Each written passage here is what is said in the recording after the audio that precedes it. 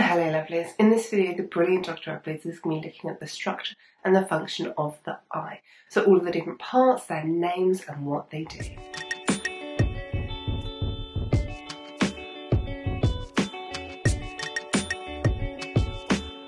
The eye. The eye is a sense organ that contains receptors sensitive to changing light intensities and the colour of light.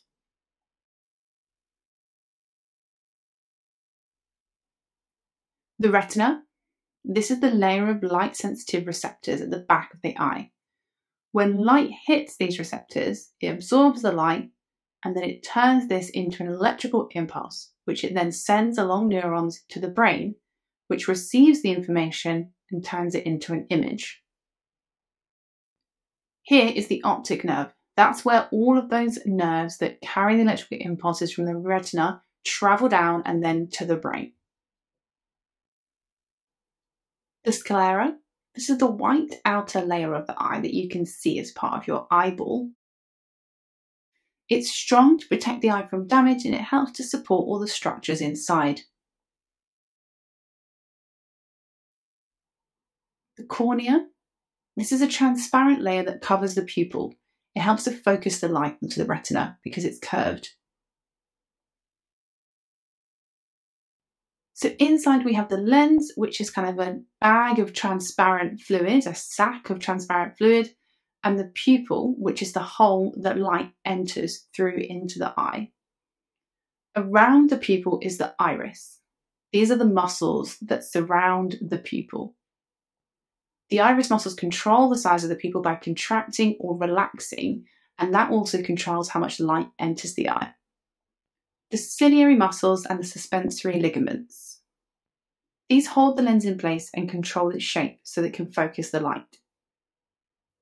So let's have a closer look at what those iris muscles do and how they control the pupil size. So in bright light, you'll see I have a small, what we say contracted pupil. This is because the circular muscles of the iris are contracted and the radial muscles are relaxed. This causes the pupil to become smaller. This happens in bright light to, less, to let less light into the eye in order to protect the retina from damage. If too much bright light was to enter the eye at once, then it could cause those photoreceptors at the back of the eye to be damaged. In dim light or low light, the opposite happens. So the circular muscles relax, the radial muscles contract, and the pupil becomes larger, or we say is dilated. This is so that more light enters the eye so a better image can be seen.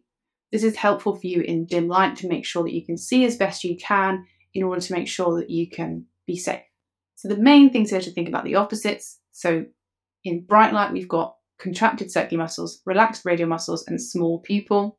In dim light, relaxed circular muscles, contracted radial muscles, and large pupil. And then the bottom point for each one is the why, the reason why your pupil does this. Remember, this is a reflex response. So it's an example of a reflex response because you're not thinking about it. Your body does this automatically in order to keep you safe. Accommodation is the process of changing the shape of the lens to focus on far away or nearby objects. We've learnt the word focus before when we looked at microscopes, is to make sure that the image is not blurry. So when you're focusing on a nearby object, your ciliary muscles are going to contract these suspensory ligaments loosen, and this allows the lens to become thicker and strongly refract those light waves and point them to the back of the retina. So, refraction, remember, is bending of the light. So, we'll have looked at this in physics. And remember, the whole point of this is to make sure that we can focus the light that's reflected off the object onto the back of the retina so that we can see it. For far away objects, the opposite happens. So the ciliary muscles relax, the suspensory ligaments tighten, so that pulls the lens upwards and downwards, and it makes it thinner, basically thinner and flatter. This means there's less refraction, so it's not going to refract the light as much, and therefore it allows it to still focus on the retina.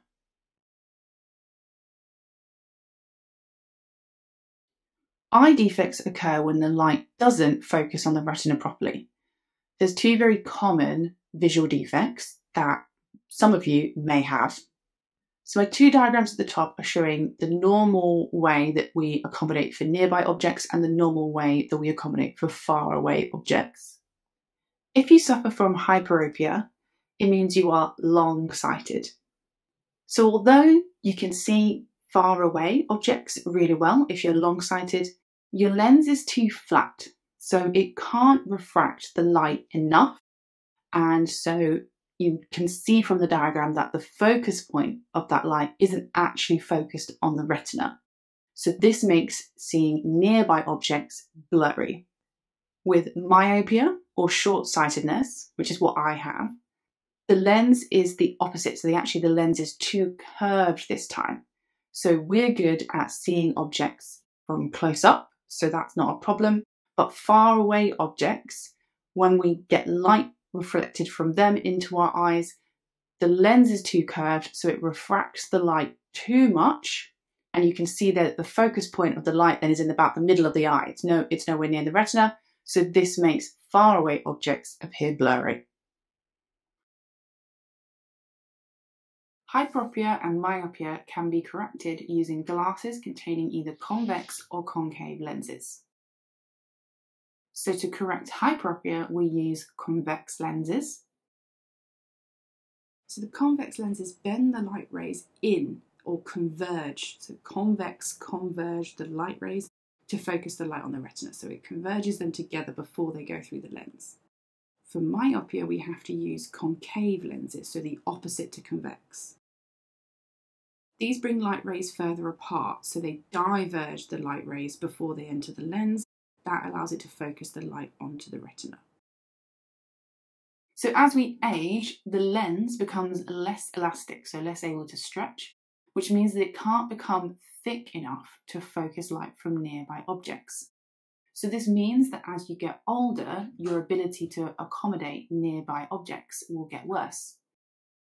So as we get older, most humans are going to need some convex reading glasses in order to help them see things close up. There are new technologies now that give people more options to help correct their sight other than spectacles. Contact lenses. Here's a picture of some of my contact lenses. So these work like glass lenses, but they're in contact with the eye. That's how they get their name. So they actually float just on top of the cornea. So you can see here I've got my contact lens, which is the blue line that sits just on top of the cornea. It kind of floats on the liquid that's on the front of your eye. And you can see in the packet that you've got this round lens and you can see how it floats in liquid to keep it moist and flexible when it's in the packet. And then when you put it on your eye, it literally sits on a, uh, floats on a volume of liquid. And then you can obviously remove it and then put it in the bin. Some people find that they dry out if you wear them for a long time. There's loads of different types of contact lenses and people can find the right one for them. You can also have laser eye surgery and that actually uses a laser to reshape the cornea. So by changing the curvature of the cornea, it changes how it refracts the light. So it's most commonly used for myopia, but it can be used for some hyperopia, but it depends on how bad your long sightedness is. You can also replace the lens with an artificial one through a small surgery. So either it can be completely replaced or it can actually just sit in front of the lens that is already there. And that can obviously help to change any ability to refract the light. Ouch!